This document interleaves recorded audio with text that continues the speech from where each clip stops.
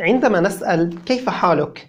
كم شخص يقول من صميم قلبه أنا بخير؟ لماذا كلما سألنا كيف حالك نجد أنفسنا تحت وابل من الشكاوى والمآسي؟ لماذا أكثر الناس لا يقولون أنا بخير بل يقولون نحن لسنا بخير مشكلة كذا وحال كذا ومسألة كذا وكذا رسول الله صلى الله عليه وسلم يقول في الحديث الذي أخرجه البخاري ومسلم من يرد الله به خيرا يفقهه في الدين. من يرد الله به خير يفقهه في الدين. الحديث ربط بين الخير وفهم الدين. إذا أراد الله بنا الخير يجعلنا نفهم الدين الفهم الدقيق.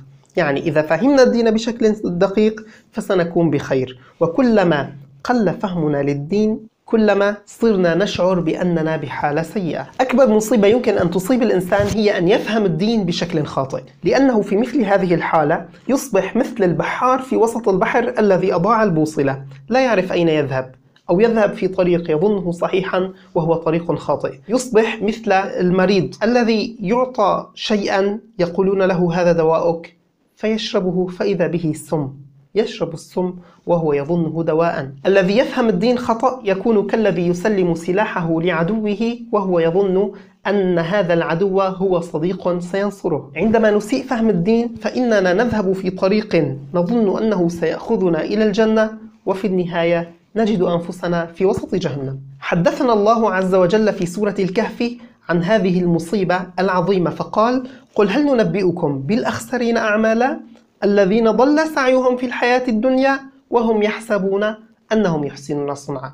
يعني الإنسان يظن أنه يعبد الله أو يظن أنه قد فهم الدين فيقوم بأشياء لا تأخذه إلا إلى غضب الله وإلا إلى التعاسة في الدنيا والآخرة. عندما يغيب الفهم الصحيح للدين نجد جميع الناس الفقراء والأغنياء المثقفين وغير المثقفين جميع الناس يشتكون. وعندما فهم الدين الدقيق الصحيح يكون موجودا في أذهان الناس نجد الجميع بخير سعداء يشكرون الله على حالهم. لكن السؤال هل يمكن أن يفهم الدين بشكل خاطئ؟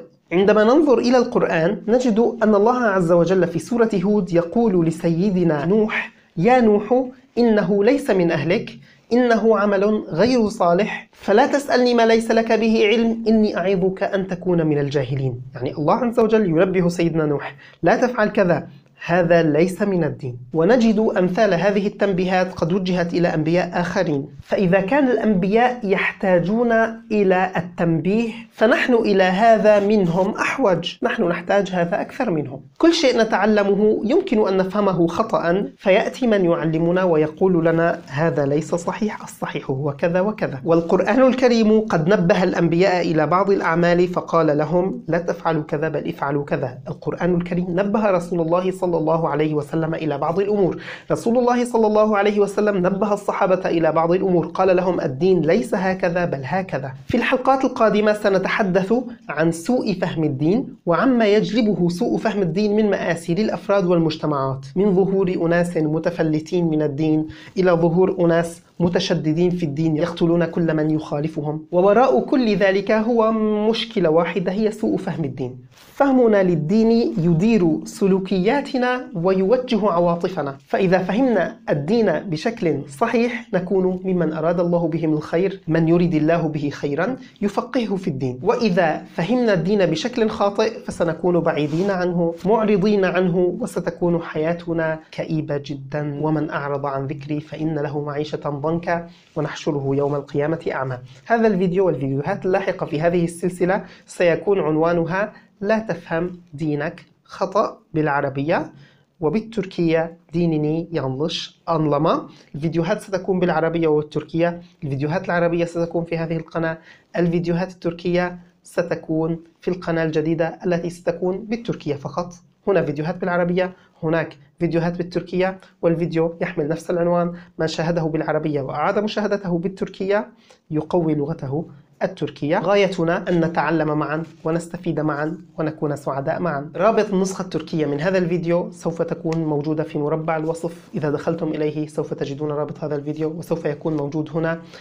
في آخر هذا الفيديو. وهذه الفيديوهات كلها بعد أن تنتهي سوف تخرج في كتاب جميل اسمه بالعربية لا تفهم دينك خطأ وبالتركية دينني yanlış anlama إن شاء الله يمد الله في أعمارنا حتى تنتهي هذه السلسلة. الآن ستكون سلسلة أسبوعية لكن إن بارك الله في الوقت سوف تكون في المستقبل إن شاء الله يومية. أتمنى لكم دوام التوفيق. إن شاء الله نفهم جميعا ديننا بشكل صحيح ودقيق ونكون من الذين قال فيهم رسول الله صلى الله عليه وسلم في الحديث الذي أخرجه البخاري ومسلم من يريد الله به خيرا يفقهه في الدين. دمتم بخير والسلام عليكم ورحمة الله وبركاته. قل هل ننبئكم بالأخسرين أعمالا؟ الذين ضل سعيهم في الحياة الدنيا وهم يحسبون أنهم يحسنون صنعا.